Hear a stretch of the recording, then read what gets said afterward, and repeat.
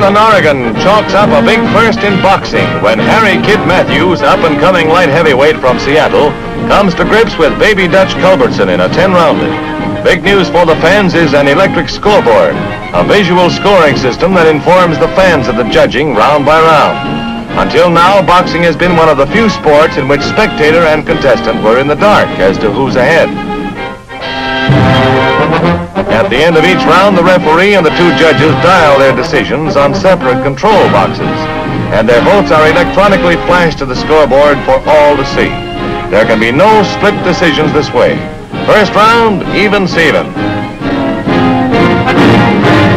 Leading in the fourth round on cumulative points, Matthews is in no need of help from anyone, human or electronic. To quote a ringsider, he's doing fine all by his lonesome.